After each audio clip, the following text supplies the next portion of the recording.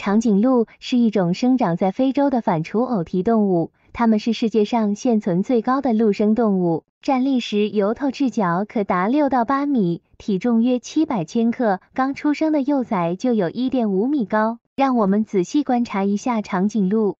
长颈鹿的头顶有一对骨质短角，角外包覆皮肤和绒毛，颈特别长，约两米，四肢高而强健，前肢略长于后肢，蹄扩大。尾短小，尾端为黑色簇毛，牙齿为原始的低冠齿，不能以草为主食，只能以树叶为主食。在野外，长颈鹿的寿命为二十七年左右，动物园里的能活超过二十九年。主要分布在非洲的埃塞俄比亚、苏丹、肯尼亚、坦桑尼亚和赞比亚等国。长颈鹿的长颈和长腿也是很好的降温冷却塔。它们生活在炎热的热带草原，由于它的表面积大。有利于热的散发，能很好适应周围环境。肺容量也大，有利于呼吸新鲜空气，排出废气。由于腿部过长，长颈鹿饮水时十分不便，它们要叉开前腿或跪在地上才能喝到水，而且在喝水时十分容易受到其他动物的攻击，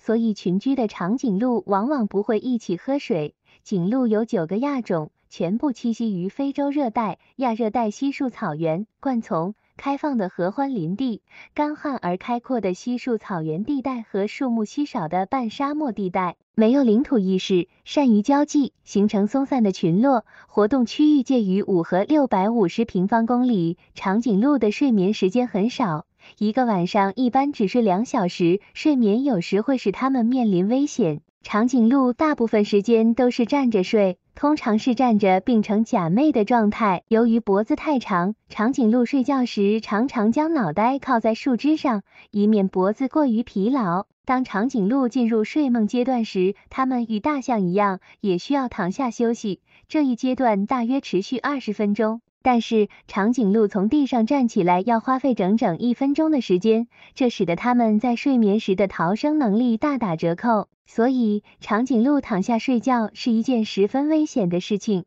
它们更多的时候是站着睡觉。当长颈鹿趴着睡觉时，它的两条前腿和一条后腿弯曲在肚子下，另一条后腿伸展在一边，长长的脖子呈弓形弯向后面，把带绒角的脑袋送到伸展着的那条后腿旁，下颌贴着小腿。长颈鹿胆子非常小，这种科学的睡姿既能缩小目标。又可在紧急情况下一跃而起，逃之夭夭。